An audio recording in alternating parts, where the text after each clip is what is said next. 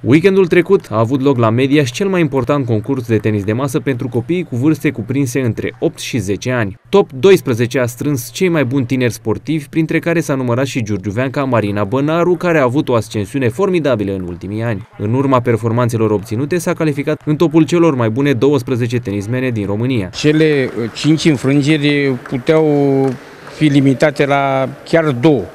Asta însemna uh, o poziționare în clasamentul general mai mult decât foarte bine, care se confunda exact cu medalie de argint sau bronz. În final, fetița a ieșit poziția 5 -a, Uh, și automat, uh, în baza bonificației care au obținut, uh, un loc de, deci locul 12 l-am înlocuit cu locul 7. La turneul final, sportiva antrenată de Angel Corbu în cadrul CSM Dunărea Giurgiu a obținut 6 victorii și 5 înfrângeri, plasându-se pe poziția a 5 -a la sfârșitul competiției. Sincer să fiu, mă așteptam la puțin mai mult, dar am făcut cât s-a putut. Toți copiii au fost buni pentru că sunt primii 12 copii din clasamentul național, deci toți am fost foarte buni. Ce mai urmează pentru tine acum? Ce competiții?